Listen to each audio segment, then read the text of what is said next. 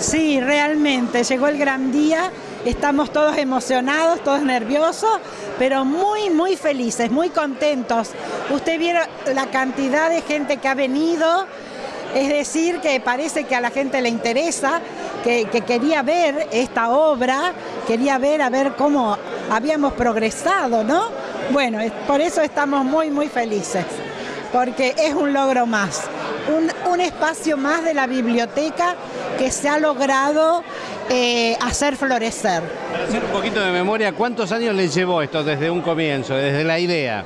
Bueno, desde el 2010 que surgió la idea, después se comenzaron con proyectos, con idas y venidas, con muchas cosas que eh, por ahí nos equivocábamos, pero siempre para adelante. Así que siete años. Es un especialmente, ¿qué es lo que se va a hacer acá? Esto es para la comunidad.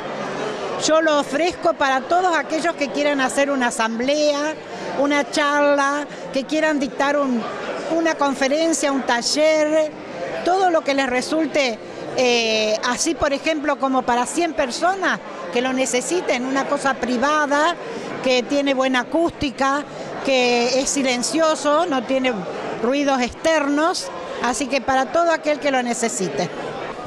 La verdad que llegó el día y, uno lo ve, ¿no? Lo ve hoy y cuando, cuando vinieron las mujeres y los hombres de la biblioteca y me decían, ¿ves todo este patio acá? Vamos a hacer el Zoom. Y uno pensaba, tiraron ancha la tajada, pero un desafío grande. Y y la verdad que no se termina lo que no se empieza. dijimos, empecemos, arranquemos, algo, algo se va a hacer y la gente, lo que ha trabajado toda esta gente de la biblioteca, la verdad que es un orgullo para nuestra ciudad poder tener hoy este Zoom, pero tener una comisión como la de la Biblioteca Popular Sarmiento.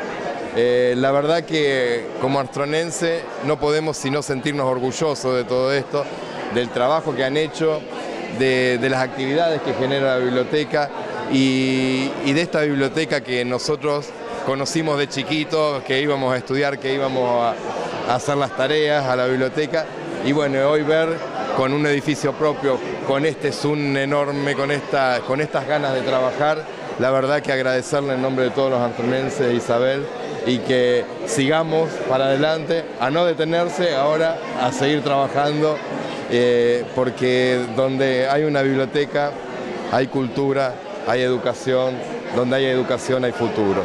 Así que gracias en nombre de todos los antronenses y felicitaciones.